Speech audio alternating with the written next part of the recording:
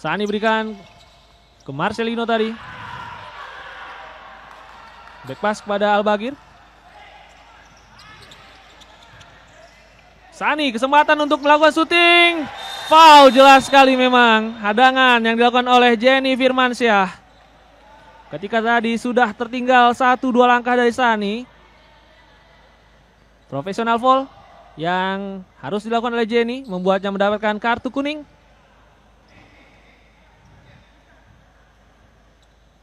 Ini dia memang sudah tertinggal tadi. Dan Jenny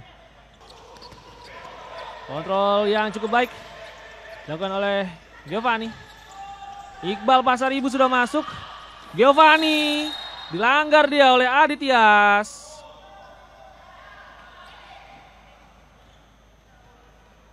Berikutnya adalah free kick untuk Giga FC di posisi yang sebenarnya cukup berbahaya bagi Black Steel dan tampaknya yang akan mengambil tendangan. Siapa lagi kalau bukan M Iqbal Pasaribu, sang Hyuga dari Tanjung Balai. Pemain yang memiliki tendangan keras. Kita akan tunggu apakah efektif kali ini. M Iqbal Pasaribu ternyata lakukan passing. Oh, syuting yang belum mengarah ke gawang. Kembali terbuang percuma. Peluang dari Giga FC. Cukup baik kerjasama di sisi flank kiri. Tapi masih mampu dibaca. Lagi-lagi counter press dari Black Steel. Justru menjadikan mereka mendapat foul. Dan kali ini kartu kuning diberikan oleh wasit kepada Marcelino. Sang pencetak gol ketiga dari Black Steel tadi. Ya memang jelas tidak ada bola tadi. Yang didapatkan oleh Marcelino.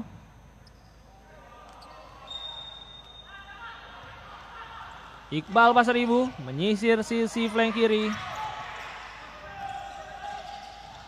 Ade Andika lakukan paralel pas. Dipotong oleh Sani.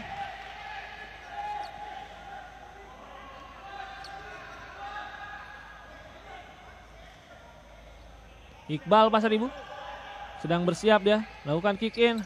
Passing maksudnya. Tapi mampu diblok. Tunnel sejak 2013 sempat memperkuat beberapa tim seperti futsal Kota Bandung, Famos, APK Kaltim, DB Asia 35 dan juga Bintang Timur Surabaya. Kartu kuning didapatkan oleh Sadam Fikri setelah pelanggaran yang dibuatnya tadi. Sudah masuk kali ini Rocky Liberty Numeri. Pemain berusia 22 tahun milik Black Steel.